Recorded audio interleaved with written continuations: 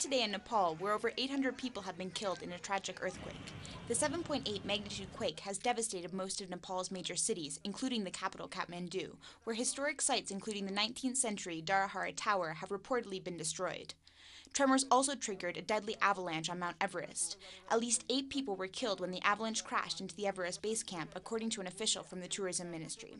The earthquake is believed to be the worst to hit Nepal in more than 80 years. The earthquake rattled neighboring India, where at least 30 people were killed.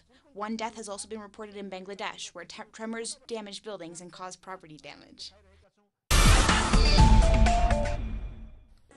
Mexico's Senate approved early in the week the so called anti corruption bill that will grant greater powers to agencies in charge of reviewing the use of public funds. However, opposition lawmakers say the measure comes up short, leaving intact a politician's right to immunity from being charged. If the president of the republic cannot be tried for corruption, nothing is going to change.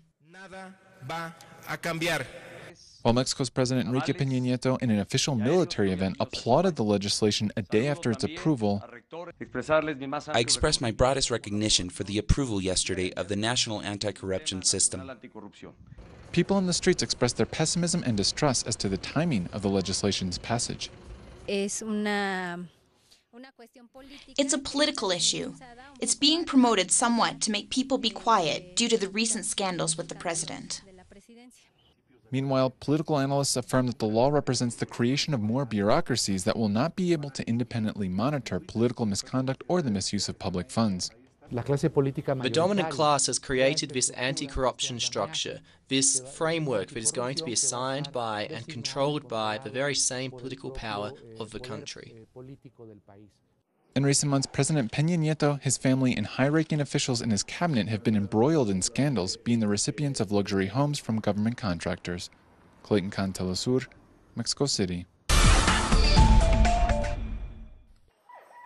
In Honduras, the health budget has been considerably reduced. This year, the country's main public hospital in Tegucigalpa received less than the half of the money it needs for medicines.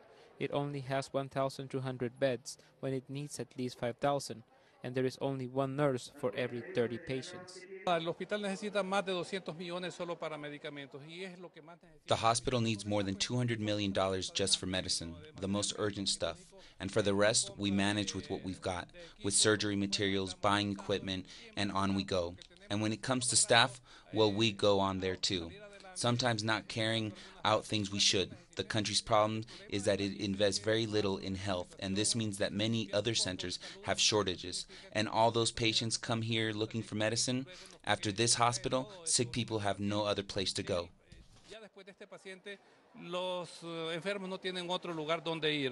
In less than a month, the hospital could run out of medicines. Authorities assure that they are demanding more funding from the government. The government has said that more funds could be found for help, but no more doctors or nurses could be hired. Meanwhile, in the hospital pharmacy, patients are receiving less than half of what they have been prescribed. I come from Ampala and they give me medicine for three months, but I came in December and they didn't give me anything. I told the young lady to give me three months worth because I come from far away, but they only gave me 50 pills when what I need are 90. People gather every day in the public hospital's pharmacy trying to get their medicine that in private pharmacies could cost 10 times more. The Honduran health system is feeling the strain after last year's decision to reduce the health budget, hitting the poor the hardest.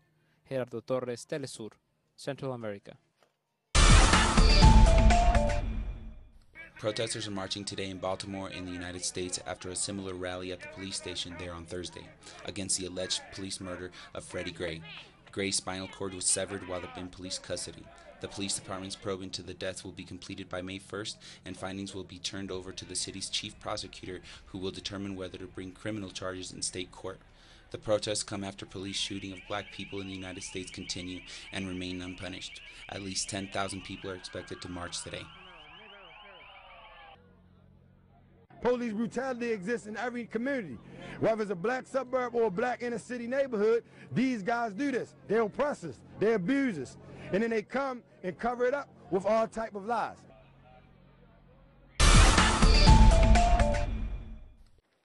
And today, Russians are marking the historic Elbe Day, which is widely seen as the beginning of the end of the Second World War. The day marks the first encounter between Russian and U.S. troops in eastern Germany, which signified at the time that Allied forces had effectively cut Germany in half. U.S. and Russian troops famously shook hands near the River Elbe in what became a symbol of peace in following years. A commemorative event marking the historic meeting was held this year in Torgau, the closest town to the historic Elbe meeting. And finally, in Togo, people are lining up outside police stations in Togo's capital Lome today for presidential elections widely expected to give the incumbent president Faure Gnassingbe a third term in power. 3.5 million voters will choose between Gnassingbe and four challengers headed by official opposition leaders Jean-Pierre Fabre. Gnassingbe has been president since 2005 when his father died after 30 years in charge. So far, voting seems peaceful with no signs of the tensions that led to violence in 2005 when hundreds died after the elections. Facts that have marked the course of history. Productions designed in the English language and made for the English speaking world. This is Documentary. Watch it on telesur.net slash English. Telesur, wherever the news, you'll be there.